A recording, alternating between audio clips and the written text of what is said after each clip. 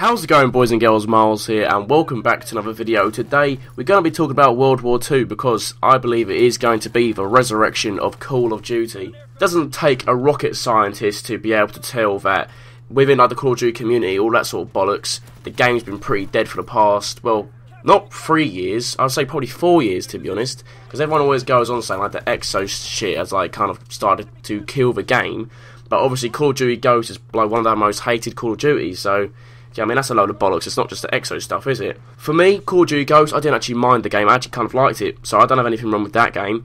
Uh, Advanced Warfare, it's a Call of Duty, so I liked it, but it probably is my least favourite COD, uh, alongside with Infinite Warfare. Infinite Warfare is actually pretty fun, but I just I'm not addicted to it one bit. I can't remember the last time I played it. Um, I don't even think I'm above first prestige to be honest so I've barely actually played the game and then of course Black Ops 3 uh, was actually a decent year for COD, I thought, really. It was a bit like 50 50. Obviously, there was people whining about the whole movement stuff, but it actually was a pretty fun Call of Duty. I, for one, liked Black Ops 3 as well. But now, here we are. We're finally getting a Call of Duty that we want. One about, well, World War, really. Pretty much everyone has wanted a Call of Duty uh, to go back into the past again and World War is the main one we all wanted, and we were fucking getting it, which is beautiful. World at War is actually like my first Call of Duty uh, in terms of like multiplayer and stuff, so it is, I suppose you can say, sentimental to me. So definitely is one of my favourites, and I'm absolutely buzzing that we've gone back to World War. I've been wanting a Call of Duty, a World War Call of Duty ever since, really. And so far, from playing the beta, it is really fucking fun, and I think it has very big potential to be one of the greatest CODs. Obviously, I don't want to like hype it. I don't want to hype it in my head uh, because obviously it could end up disappointing me and letting me down. But yeah, I'm trying to, you know, obviously, I, well, basically, I enjoyed the beta, so obviously, I am going to kind of hype it a bit, really. By the way, in this background gameplay you're seeing, I did in fact go on a 40 plus kill streak. It's actually my best gameplay from the beta. In fact, I got like 51 kills and 3 deaths, quad paratroopers, and obviously the nuclear as well. Nuclear kill streak, unstoppable as well. So, pretty sick gameplay. But yeah, in terms of the beta, I did really, really enjoy it. At first, I was quite shit at it, but that's because, as I said, I haven't actually played Call of Duty in bloody ages. Um, but then after a while, when I was getting into it again, getting back into the rhythm, you know, I started playing really well on it, and I was just really enjoying the game. Really enjoyed the beta, um, and I'm just I'm really looking forward to the full release. So far, I would say my favourite gun is the Grease gun. That's a naughty little SMG, and my favourite map is either Gibraltar or Point Points de Hoc, however you pronounce it. Um, like the trenches sort of thing. But yeah, those two maps are sick. But in terms of guns, um, I believe they are going to be adding uh, more guns into the full game release, and I bloody do hope they do, to be honest. Because when like talking about the assault rifles category, um, it's actually quite poor. If I'm going to be honest with you, like the the STG is great, it's a good gun, but other than that, they're just like what one shot kind of like or like one round burst sort of weapons. Like there's no other fully automatic assault rifles. I don't think. I'm not sure actually. There's one gun which I can't tell uh, if it was an LMG or an assault rifle. It was um, the gun that pretty much everyone used on their like very first game on the beta because it was on like one of the um, custom sort of classes things, and you like had to use the gun, and it is fucking shit. It is so bloody weak. Uh, you might know the gun I'm talking about. I don't know the name, and I can't really tell if it's an LMG or an assault rifle, but whatever it is, it is a shit gun. It shoots out marshmallows. But yeah, the STG is good. Uh, the M1 Garand, that's good. I like that gun. Um, I didn't actually bother using the carbine because apparently that was shite. In fact, I did actually pick it up from people like I killed or whatnot, and um, it didn't seem to be that bad or good. It just seemed like to be like a bit of a meh sort of gun. But the SMGs, I probably would say, is the best gun category uh, from the beta. Um, as I said, the grease gun's my favourite gun. That's sick. There's also the Waffe 28, however you pronounce it. That is also really good. That was my favourite gun at one point, as was the Type 100. That's also a very good gun. Those two guns are actually quite similar. I wasn't really using the snipers too much, to be honest, because I wasn't doing very well with them. Uh, but I think if I go into the rhythm of the snipers, I'll really enjoy it because they do actually seem to be quite decent. I just personally wasn't doing very well with them. And also, the shotguns seem to be proper overpowered when you put them like in cinder, I can't pronounce the fucking thing, but it's those like fire shells and they are OP as shit with them. I did actually give them a go and it's quite mad.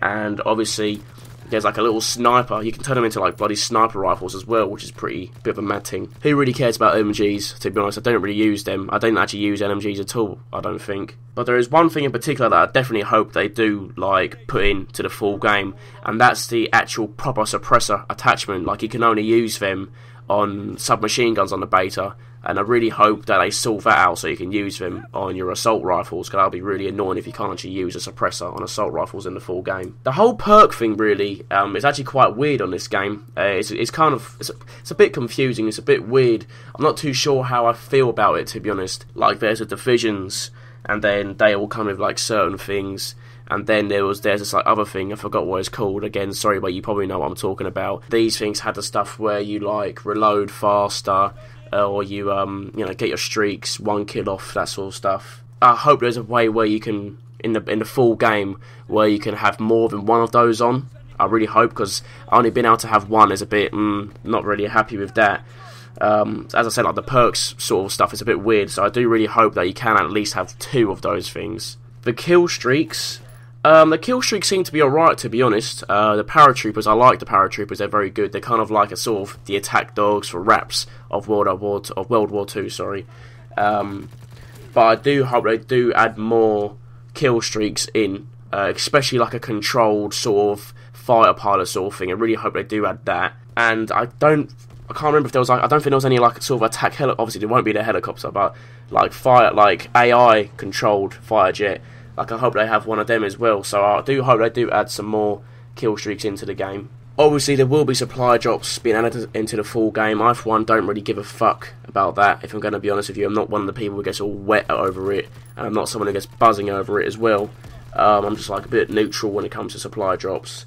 But I really do hope, like, if they do add stuff like new guns or like sick variants or whatever, that you can actually get them without having to spend shitloads of money on supply drops until you flipping unlock them. Because, for example, on Black Ops 3, there's so many sick guns on there. I've got fucking none of them, basically. Well, I've got like the FAMAS. That's like the only mad good gun I've got on Black Ops 3.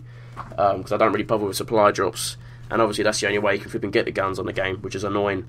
Um, so, if on World at War, uh, sorry, I keep saying World at War, but on World War 2, if they do put in new stuff like guns variants, I hope you can actually unlock them uh, somehow without having to spend money on supply drops. But for the full game, I'm buzzing for zombies. I think zombies seems to look alright, to be honest, from the trailer. Obviously, I haven't actually seen any gameplay yet, but from the reveal trailer, it does look quite naughty. Nazi zombies. That looks like it could be cheeky. Could enjoy that.